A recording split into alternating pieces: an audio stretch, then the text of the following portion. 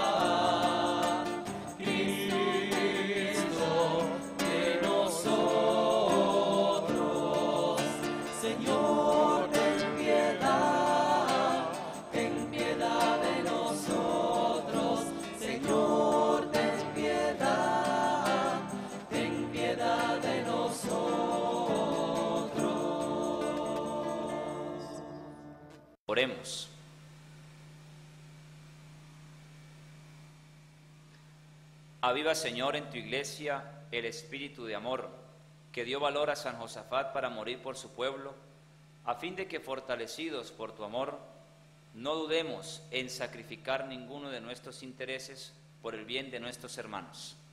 Por nuestro Señor Jesucristo, tu Hijo, quien contigo vive y reina en la unidad del Espíritu Santo y es Dios por los siglos de los siglos. Nos sentamos y escuchamos con amor y cariño la palabra de Dios.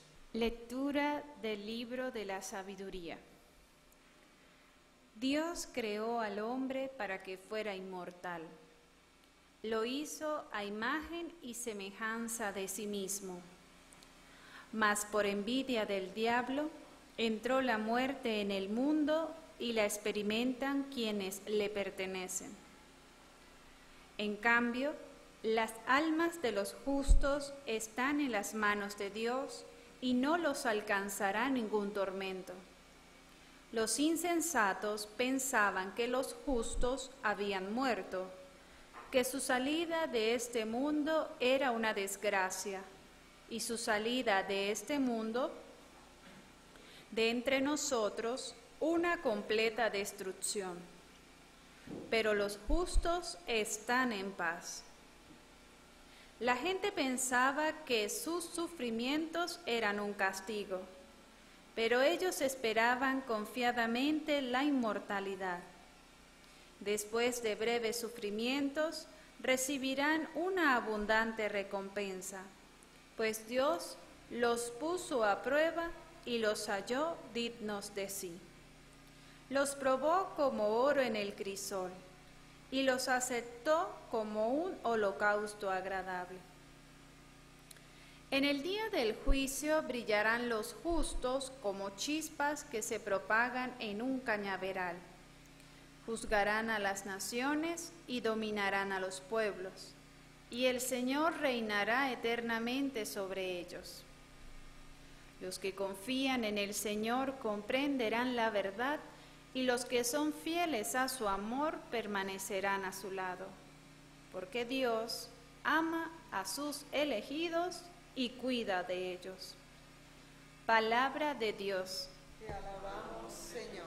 Bendigamos al Señor a todas horas. Bendigamos al Señor. Bendeciré al Señor a todas horas. No cesará mi boca de alabarlo yo me siento orgulloso del Señor, que se alegre su pueblo al escucharlo. Bendigamos al Señor a todas horas.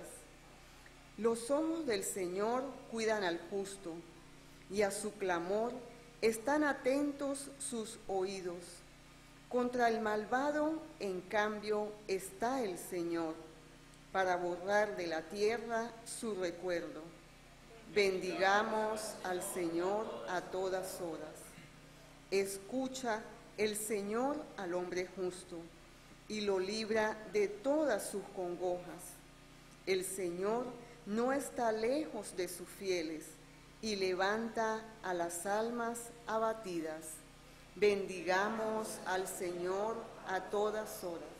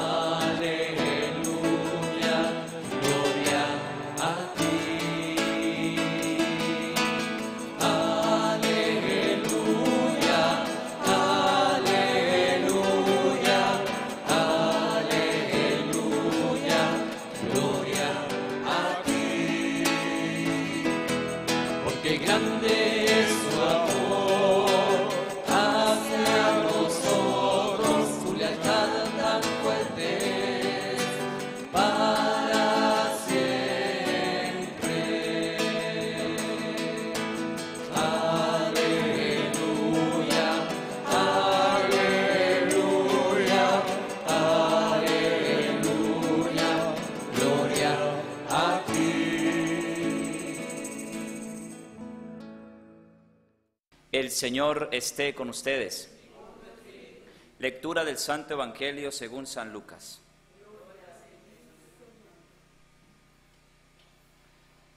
En aquel tiempo Jesús dijo a sus apóstoles, ¿quién de ustedes si tiene un siervo que labra la tierra o pastorea los rebaños, le dice cuando éste regresa del campo, entra enseguida y ponte a comer? ¿No le dirá más bien, prepárame de comer y disponte a servirme para que yo coma y beba, después comerás y beberás tú? ¿Tendrá acaso que mostrarse agradecido con el siervo porque éste cumplió con su obligación? Así también ustedes, cuando hayan cumplido todo lo que les mando, digan, no somos más que siervos, solo hemos hecho lo que teníamos que hacer. Palabra del Señor. Por estas palabras del Santo Evangelio, el Señor perdone nuestros pecados. Amén. Tengan la bondad de sentarse.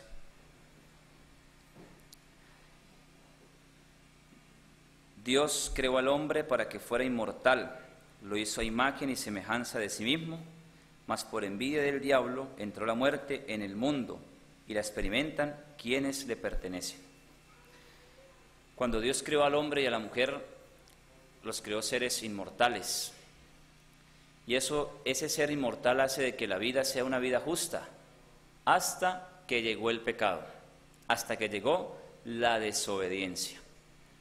¿Y qué hace la desobediencia? Precisamente todo lo contrario a, lo que es justo, el ser un alma injusta o el ser un alma insensata, una vida, tener, llevar una vida insensata. Bien, estos dos estilos de vida, el primero, la vida insensata, ¿cómo la obtenemos? ¿Cómo la conseguimos? Precisamente nos presenta el Evangelio y las lecturas a través de la desobediencia. Una vida insensata es aquella que está ocupada en las cosas del mundo, que está en el afán de tener, de preocuparse por lo que nos apetece, por las tentaciones, por las cosas que nos agradan y por no y por lo que no nos, no nos gusta hacer, que en este caso son aquellas cosas las que nos hacen de que la vida sea justa. ¿Qué es un alma justa? Un alma justa es aquella que cumple la voluntad de Dios. Un alma que cumple con la voluntad de Dios es aquella que busca a Dios en la Eucaristía, en las obras de misericordia, en la obediencia, en la confesión, en la oración, en las obras de caridad, en tantas cosas buenas que Dios nos ofrece y que nos pone para que esa vida sea un alma justa. Fíjese, hay una pregunta. Dice la lectura que las almas de los justos están en las manos de Dios y no los alcanzará tormento alguno. Eso suena como precisamente para aquellas almas que están en ese camino de conversión, de esfuerzo, de lucha contra aquellas tentaciones que ofrece el mal y las que nos hace ser una vida, tener una vida insensata. Y por eso es importante que hoy nos hagamos una pregunta.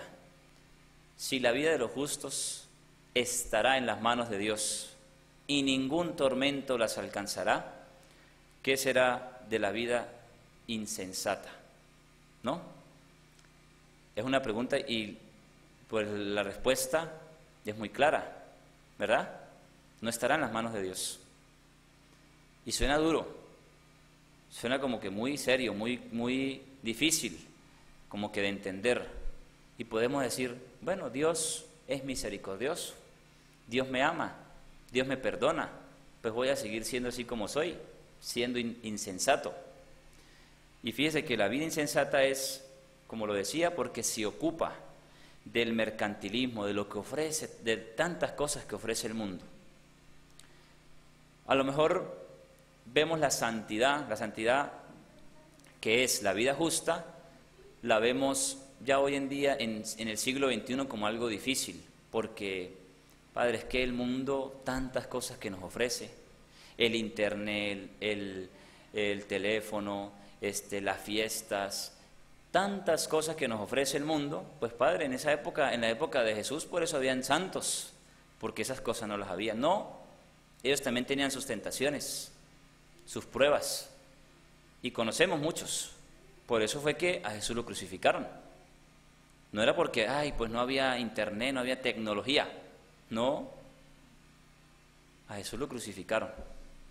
¿Por qué? Por el pecado. Y eso es lo que hoy nos muestra Jesús, lo que hoy nos da a entender la palabra de Dios, a que nosotros podamos ser conscientes de nuestra vida. ¿Cómo es mi vida? Justa ante los ojos de Dios, porque es muy fácil hacer la vida justa ante los demás, ¿no? Ante, ante mi jefe de trabajo. Yo soy justo en lo mío, la apariencia.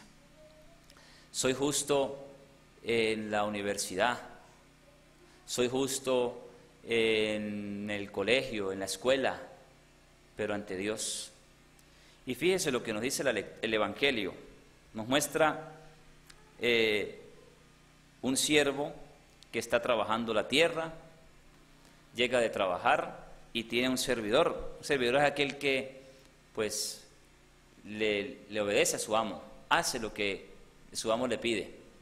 Y le dice, no le dirá más bien, prepárame de comer y disponte a servirme, para que yo coma y beba, y después comerás y beberás tú.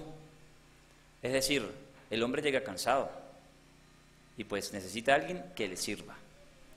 Dice el Evangelio, si aquel hombre hace eso, si aquel servidor hace aquello, dice el Evangelio, ¿tendrá acaso que mostrarse agradecido con el siervo porque éste cumplió con su obligación? Fíjese que ese es Dios, ese es Jesús. Y nosotros somos sus servidores. Cuando le servimos a Dios, ¿qué hace Jesús? Se muestra agradecido. ¿Y de qué forma se muestra agradecido? Dándonos aquello que necesitamos. E incluso nos da aquello que ni siquiera nosotros sabemos que lo merecemos o lo necesitamos.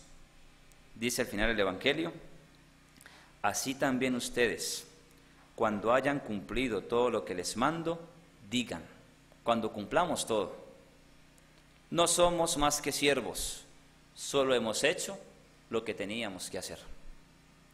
Y para terminar, una pregunta de, de meditación. ¿Estamos haciendo lo que Dios nos pide? ¿Estamos sirviendo a Dios de corazón? Con amor, con entrega, con cariño, para recibir de Dios su recompensa, no por interés, sino por amor a aquel que ha dado la vida por todos, que ha servido y sirve por nosotros. ¿Cómo le estamos pagando nosotros a Jesús?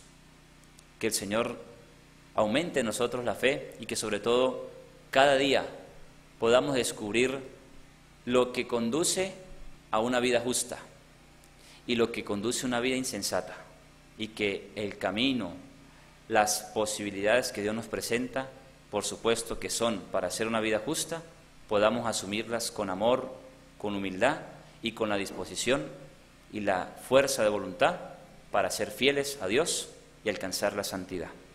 Gloria al Padre y al Hijo y al Espíritu Santo.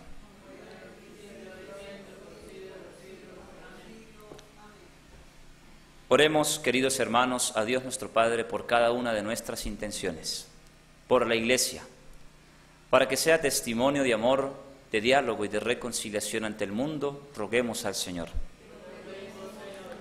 Por la paz en nuestros pueblos, especialmente en nuestra patria Venezuela, para que dentro de los gobernantes, dirigentes políticos, dentro de nosotros mismos, haya la reconciliación, el amor entre los hermanos, roguemos al Señor.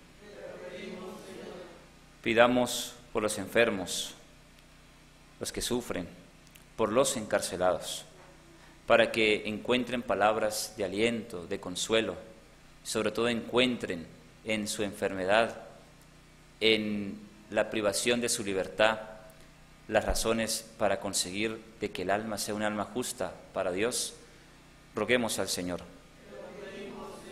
Pidamos al Señor por la conversión de todos los pecadores, especialmente aquellos que están alejados de Dios para que encuentren en el Señor la conversión y, encuentren sentido a su vida, roguemos al Señor. por nosotros, para que no nos cansemos de hacer el bien, para que logremos cumplir la voluntad de Dios y ser de nuestra vida, de nuestra alma, un alma justa, roguemos al Señor. En silencio pedimos al Señor por cada una de nuestras intenciones, nuestras necesidades. Roguemos al Señor. Atiende, Padre bueno, nuestras súplicas, especialmente aquellas que están en lo más profundo del corazón. Te lo pedimos por Cristo nuestro Señor. Digan con alegría, Señor, danos sacerdotes santos. Señor, danos familias santas. Señor, danos niños y jóvenes santos. Señor, aumenta mi fe. Señor, danos la paz. Señor, destruye la maldad en los venezolanos. Amén. Presentamos ante el altar de Dios el pan y el vino y junto a este pan y vino presentamos nuestra vida, que es una ofrenda agradable al Señor.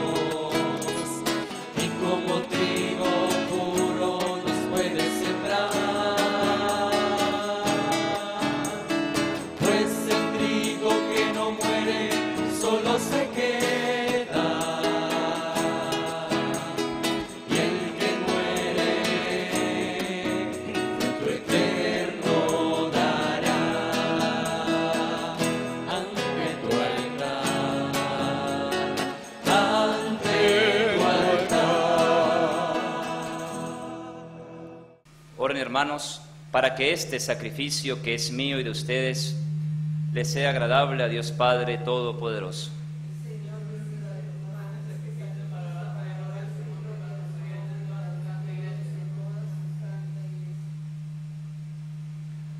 Bendice y acepta, Señor, los dones que te presentamos y haz que esta Eucaristía nos confirme en la misma fe que San Josafat atestiguó con su sangre. Por Jesucristo nuestro Señor. El Señor esté con ustedes. Levantemos el corazón. Demos gracias al Señor nuestro Dios. En verdad es justo y necesario, nuestro deber y salvación, darte gracias siempre y en todo lugar.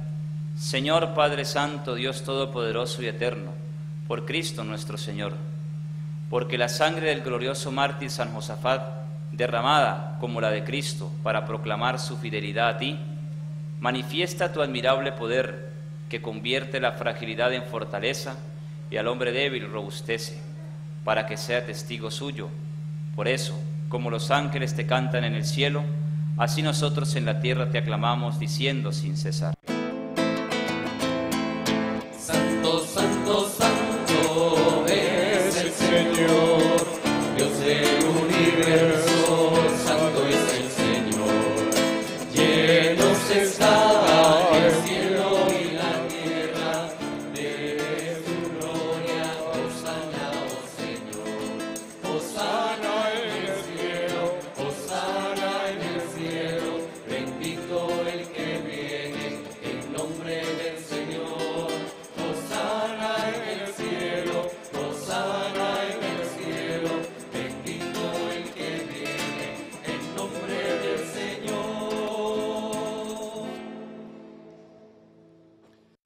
Eres, en verdad, Señor, y con razón te alaban todas tus criaturas, ya que por Jesucristo, tu Hijo, Señor nuestro, con la fuerza del Espíritu Santo, das vida y santificas todo, y congregas a tu pueblo sin cesar, para que ofrezca en tu honor un sacrificio sin mancha, desde donde sale el sol hasta su ocaso.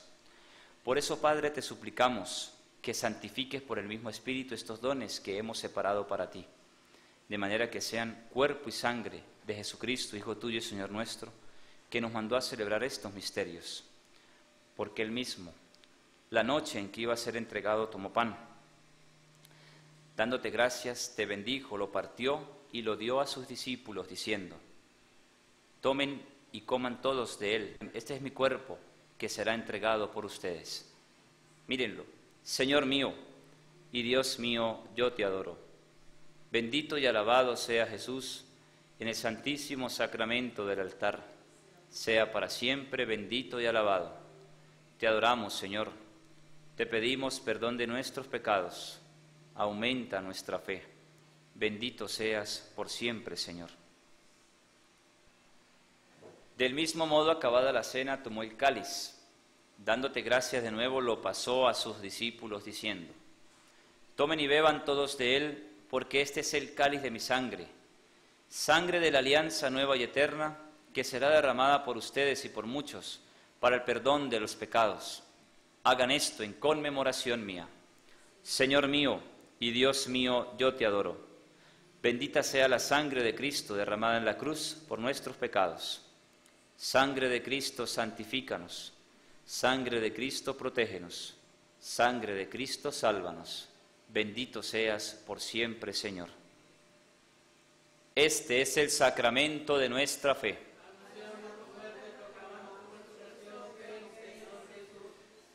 Así pues, Padre, al celebrar ahora el memorial de la pasión salvadora de tu Hijo, de su admirable resurrección y ascensión al cielo, mientras esperamos su venida gloriosa, te ofrecemos en esta acción de gracias el sacrificio vivo y santo.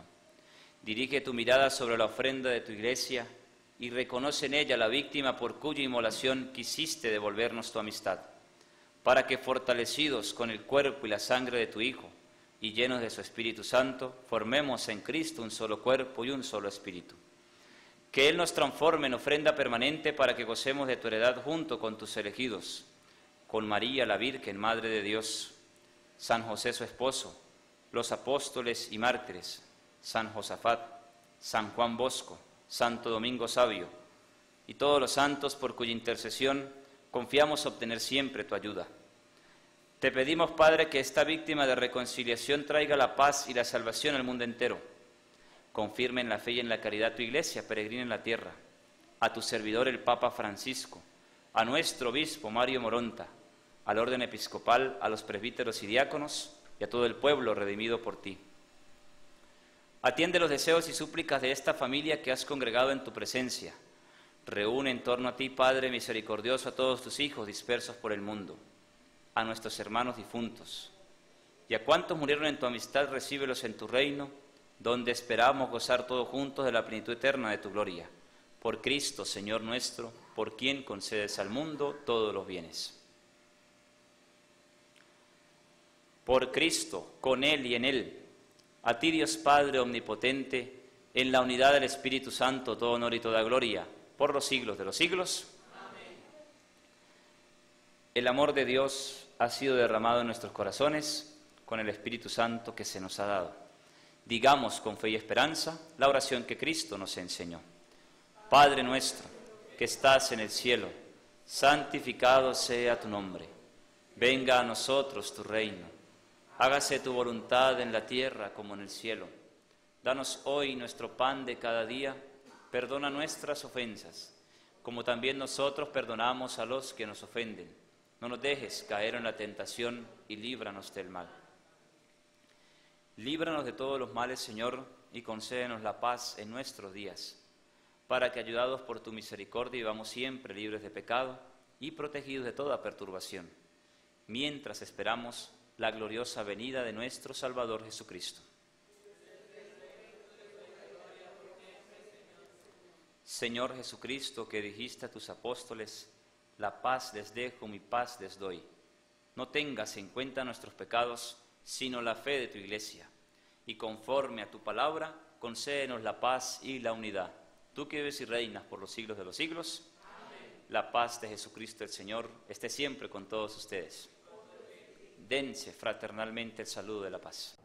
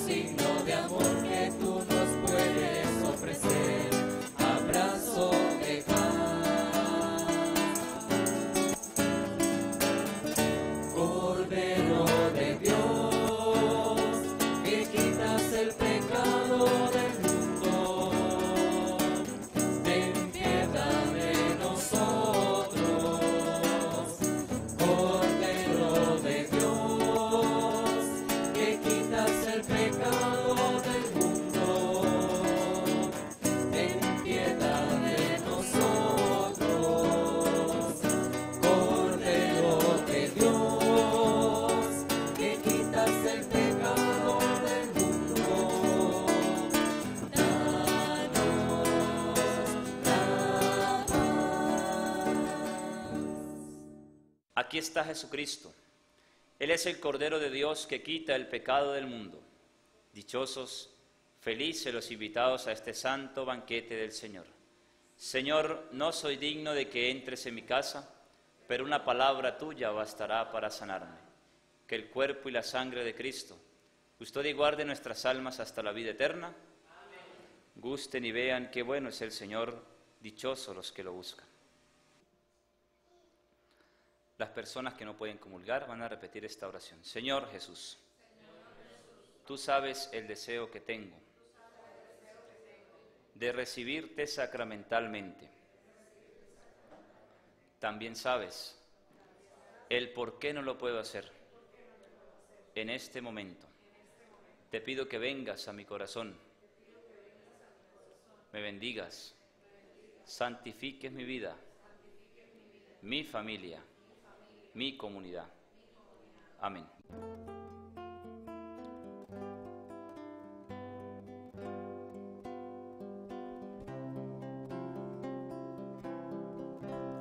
No pongáis los ojos en nadie más que en Él.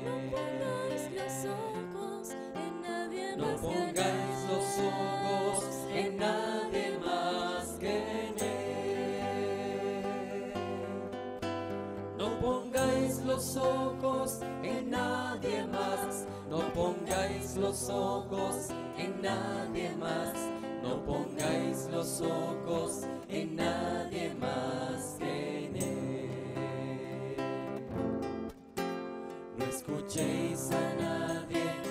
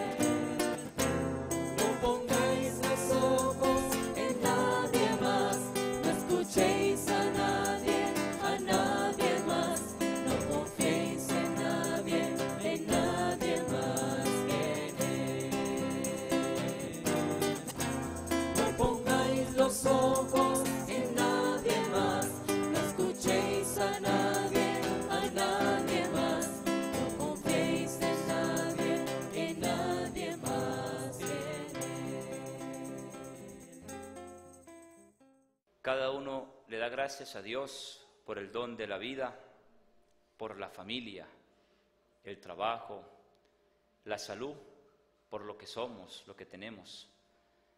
Damos gracias a Dios por las bendiciones, las cosas que Él pone en el camino de nuestra vida para que seamos sus servidores. Le damos gracias a Dios porque dándonos la vida nos la da para que seamos justos y no insensatos. Especialmente agradezcamos a Dios por esta Santa Misa, que con su palabra y su alimento nos llenan de vida, nos sanan, nos salvan y nos transforman sin darnos cuenta. En silencio demos gracias. Este próximo domingo, en diferentes parroquias de la diócesis, se estará celebrando el abrazo en familia. Y en nuestra parroquia, el Buen Pastor, en Puente Real, tendremos esta bonita fiesta, esta bonita celebración. Compartiremos, tendremos reflexión Y aparte de ello tendremos en nuestra parroquia una jornada médica que el ambulatorio de allí de Puente Real ha querido brindar a aquellos que necesiten de estos beneficios. Y por eso queremos hacer la cordial invitación a partir de las 7 de la mañana. Tendremos esta bonita jornada, aprovechando el domingo, Día del Abrazo en Familia, para que en familia pues podamos también ir y pues aprovechar de estos beneficios que el ambulatorio ofrecerá a aquellos que necesiten para su salud. Y también, a su vez, vamos a tener una vendimia para recaudar fondos para el templo parroquial en Puente Real. Se ha estado haciéndole algunos retoques al templo, se, está, se está colocando cariño, amor a la casa de Dios. Y por eso pues aprovechamos para que también apoyen pues esta obra de Dios y poner la casa de Dios más hermosa. Así que invitamos cordialmente para que en familia pueden acercarse a la misa de 7 de la mañana, allí en la parroquia, o la de 11 de la mañana o 5 de la tarde. Nos ponemos de pie. Decimos todos, gracias Señor, gracias. Gracias Señor, gracias. Gracias María, gracias. Gracias María, gracias. Oremos. Que este sacramento que hemos recibido nos comunique, Señor, tus dones de fortaleza y de paz, para que a ejemplo de San Josafat trabajemos sin descanso por la unidad y la santificación de la Iglesia. Por Jesucristo nuestro Señor. El Señor esté con ustedes. La bendición de Dios Todopoderoso, Padre, Hijo y Espíritu Santo, descienda sobre ustedes y les acompañe siempre. La alegría del Señor es nuestra fuerza. Podemos ir en paz.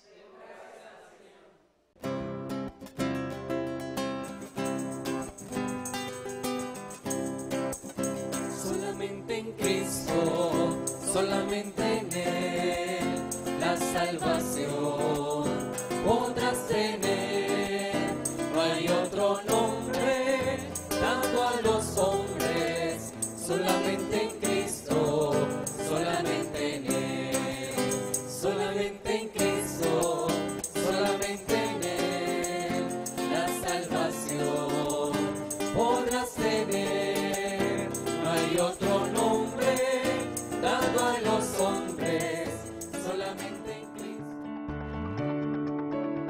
Gracias Señor, porque quisiste celebrar tu entrega en torno a una mesa con tus amigos, para que fuesen una comunidad de amor. Radio Natividad transmitió la celebración de la Santa Eucaristía desde la Casa de Oración Virgen María de Jerusalén.